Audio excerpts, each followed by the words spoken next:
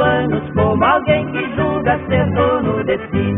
Enfrentei o mundo pra ganhar a vida, sem destino certo saí por aí.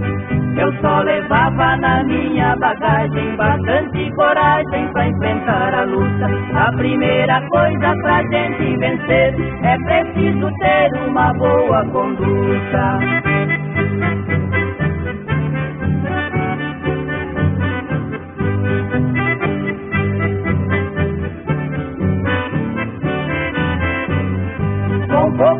Experiência vindo da campanha, com muitas façanhas, nenhuma perdida.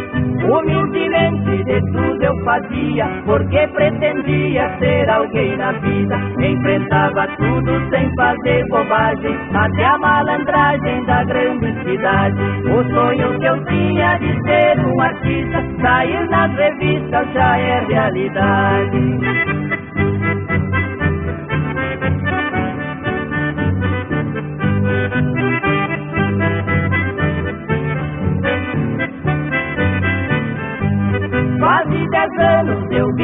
Ausente dos meus parentes da terra natal. Mas a saudade me acompanhava e maltratava fora do normal. Até que um dia eu me resolvi e pra lá segui contente da vida. Mas eu confesso que até chorei quando cheguei na terra querida.